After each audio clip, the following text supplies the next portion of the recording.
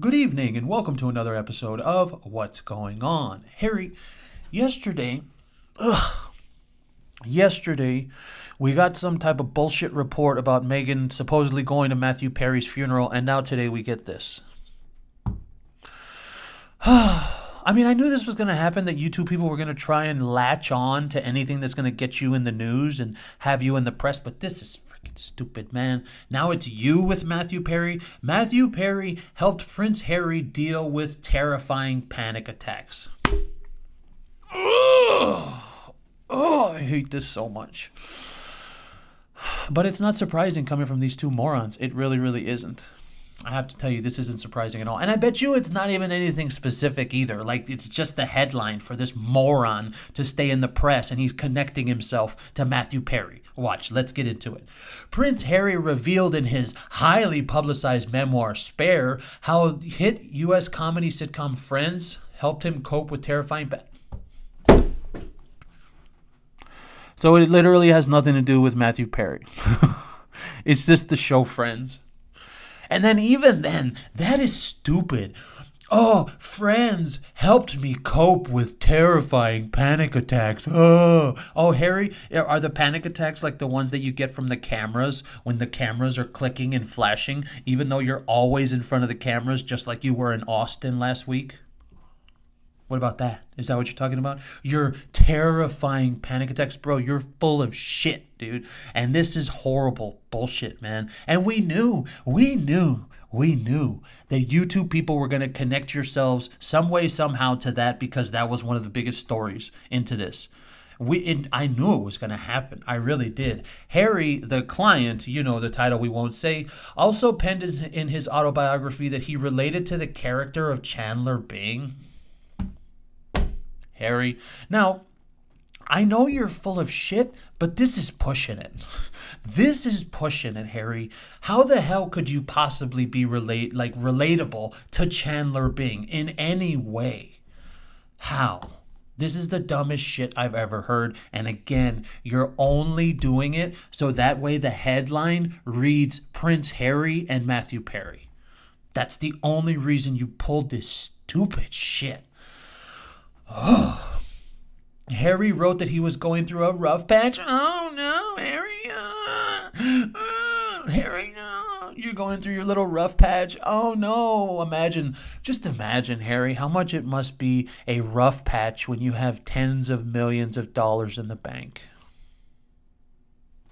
Mm, sounds like a rough patch, huh? Oh, and I love what people out there say, like, oh, money doesn't help. Money doesn't buy happiness. Are you sure? Have you ever been poor before? You stupid rich a hole. No, of course you haven't, Harry. You don't know anything about rough patches, you rich douchebag okay, and was experiencing debilitated bouts of lethargy. Harry, that's just called being bored. Debilitating bouts of lethargy or lethargy, however you say it. That's just called being bored. You're just bored and you don't want to do anything. No, Harry, you were never depressed. You were never in a rough patch. You were just crying like a petulant child that you are. That's what it is.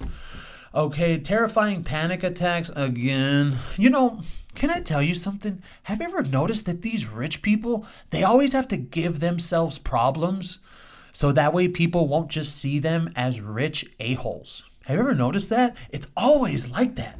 Terrifying panic attacks, yeah, I doubt it. And couldn't even carry out his royal duties in 2013. Whatever, bro. Now you're blaming panic attacks for your royal duties, you lazy a hole. We know you didn't want to do any of your royal duties because you're lazy. And then you met that other lazy call girl, and she didn't want to do any of her royal duties either. So you two people deserve each other. And then you left the royal family, and then you cried victim about it.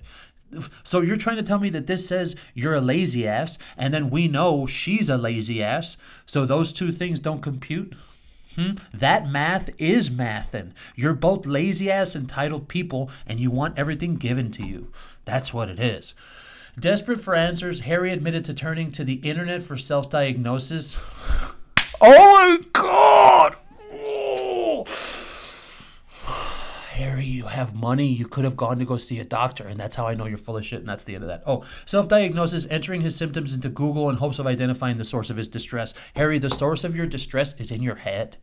Harry, that's the end of that. Harry, the source of your distress is in your head. Oh, you stupid rich idiot. The source of your distress is that you were doing too much booger sugar.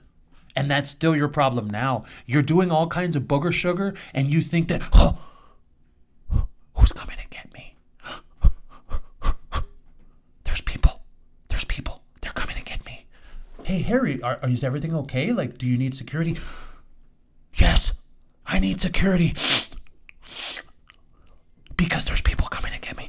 Well, you, let's just calm down, okay? Let's just not do drugs anymore. No, it's not the drugs. It's not the drugs. They're coming to get me. That's you, Harry. That's you right there. So we're going to go ahead and leave it there. Thank you for liking and subscribing. Thank you for clicking the little bell. We will catch you next time.